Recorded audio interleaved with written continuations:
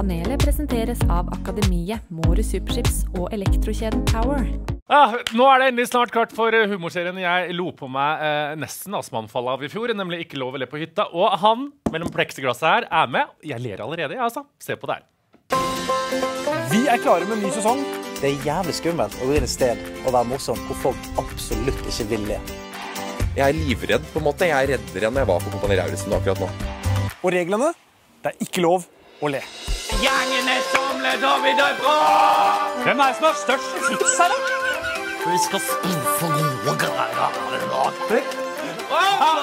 La, la mannen fullføre, da. La mannen fullføre. Det hadde aldri skjedd med det- deg, Marte. Det er ikke gøy.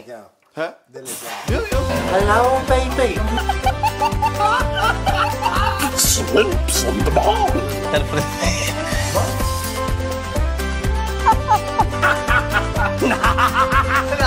Mamma. Mamma igjen. Hva er det dere holder på med her? Du bor ikke her. Det føles som vi satt i sånn bur, at vi var dyr. Og at folk ba dyrevokterne om å sånn, gjøre noe gøy med apekattene. Plag dyrene sånn at vi kan ha det gøy. Det blir verre og verre. Vi får ikke noe respons. Så har det altså kommet til dette, Mats Hansen. Jeg ønsker deg!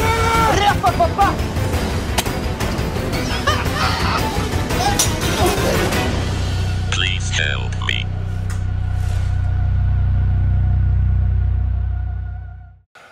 Altså Jeg kan avsløre såpass mye at jeg skulle aldri ha vært på den hytta.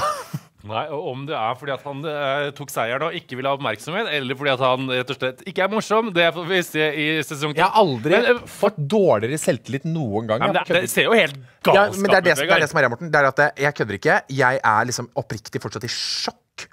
Fordi hva faen, liksom? Er det så folk, drøyt? ja, men folk er gærne. Folk er gærne, liksom. Folk er klin hakka Og så er det bare sånn jeg, det, altså, dere må, når dere ser, det, det kommer til å utvikle seg på en måte hvor det blir sånn til slutt, så blir jeg bare sånn De er ikke mennesker til slutt. Uansett, uh, Vegard, uh, om Vegard klarer seg godt, det får vi se der. Uh, en ting jeg er sikker på, er at vi kommer til å le. Ikke lov å le på hytta kommer straks på VGTV. Og hvis du har lyst til å få se hele sesongen med en gang, så får du det på VG+. Men den kommer som små drypp etter hvert på vanlige VGTV òg.